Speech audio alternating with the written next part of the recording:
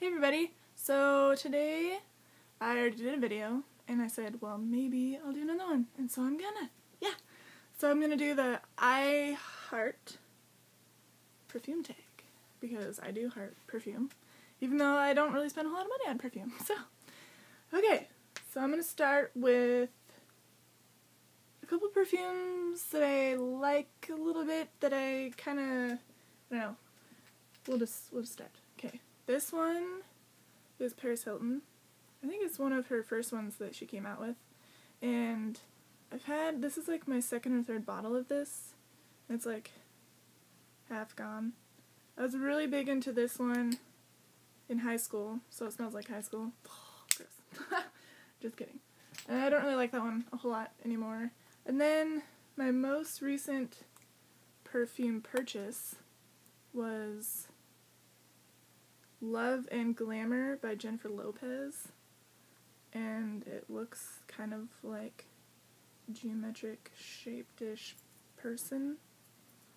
And it's like originally like 20 something.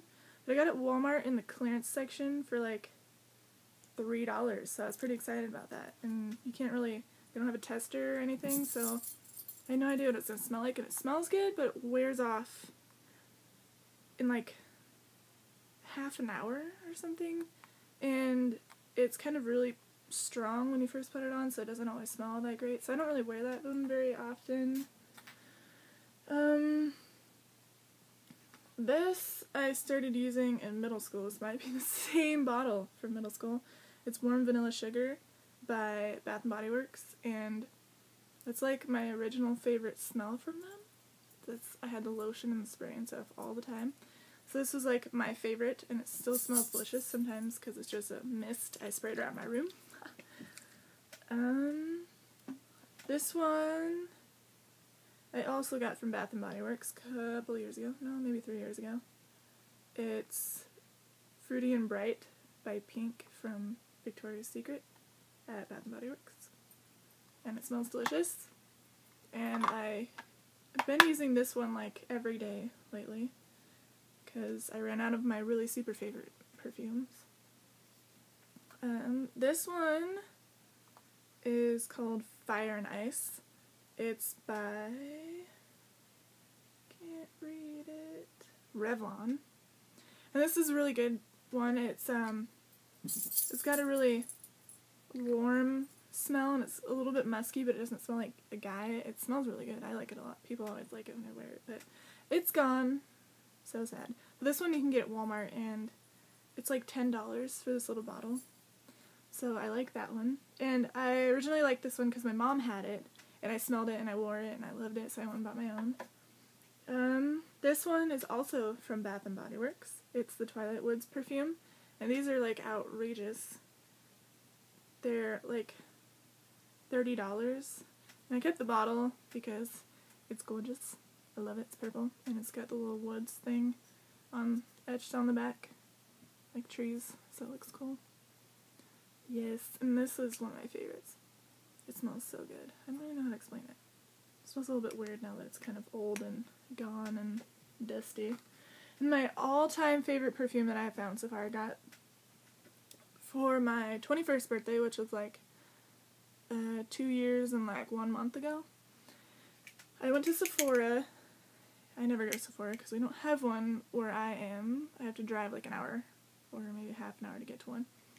And I was smelling all the perfumes and I really like didn't like any of them. And then I came across Kat Von D's stuff and I kind of like her. So I decided to smell her perfumes and I ended up getting the Saint perfume by Kat Von D and there were two bottle choices.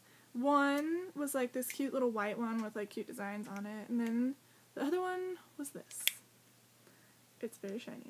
And it has little skulls and scrolly things on the sides. And it opens like this, and it looks kind of like a lighter. And there's the her crest thing or whatever on there. Kat Von D. So shiny. but yeah, so you just You open it and then you press down like that.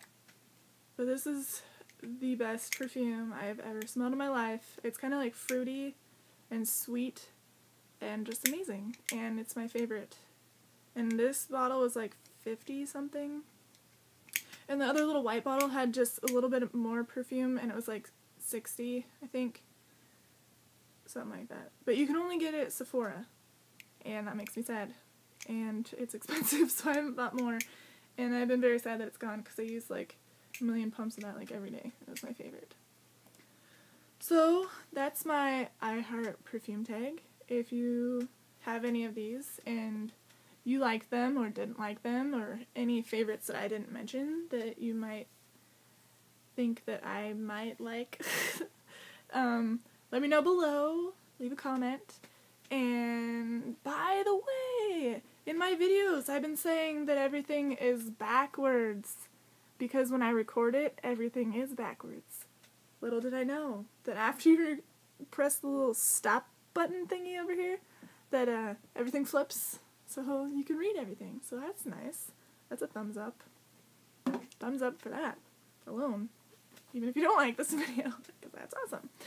Anyways, um, if you like this video, please give it a thumbs up and subscribe wherever the button may lie. Hit that. Oh, P.S. This is my uh, my bracelet that I got for free on election day at Starbucks, and it says indivisible. It's red, white, and blue, and it's a little like double. Yeah. Anyways, in case you were wondering, I'll put it below anyways because I'm cool like that. I guess maybe, maybe not. Okay, so I still have a giant list of videos that I'd like to do, so I may or may not do a third video today and see if I can upload them today. So I'll see you guys later. Bye.